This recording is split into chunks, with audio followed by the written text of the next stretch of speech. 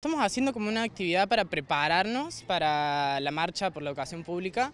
Em, ahora mismo estamos eh, pintando los pasecalles y haciendo una volanteada em, para ir convocando a la marcha para que eh, los diferentes claustros de la, universidad vayan viendo y vayan sabiendo que se va a estar haciendo una serie de actividades em, en defensa de la educación pública y, y, la idea es eso, preparar todo para la marcha.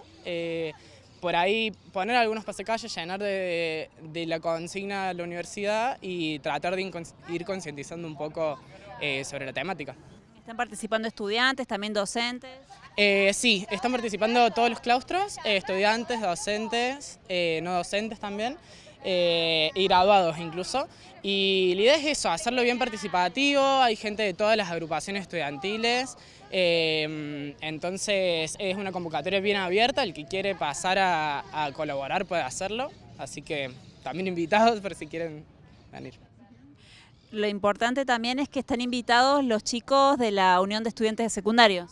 Sí, también. Ellos van a estar colaborando un poco más a la tarde, que es el horario en el que salen del colegio y pueden, eh, y pueden ayudar. Y eh, están haciendo una movida muy grande, una movilización muy, muy activa eh, por la causa. Por último, Nicolás, ¿qué importancia tiene que el próximo martes toda la comunidad universitaria, pero de la ciudad en general también, salgan a las calles a manifestarse, a defender el derecho por la educación?